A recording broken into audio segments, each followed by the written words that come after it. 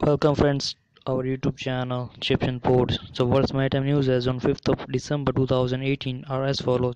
So keep watching other video. AMI Global receives Safmarine's Customer of the Year 2018 award.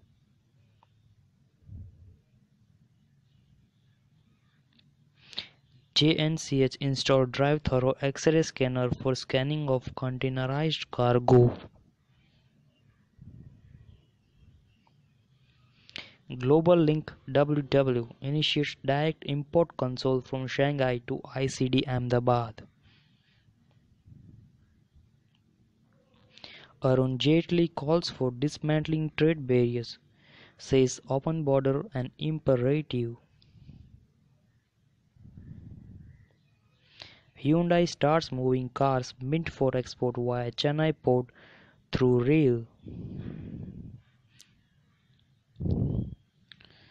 Other important news are as follows. CBIC clears Rs 91,149 crore GST refunds to exporters so far. Textile Ministry to replace export incentives with WTO compatible schemes. Logistic Data Bank project introduced with KOPT. Big Data, the driving force for logistic automation. Thank you for watching our videos.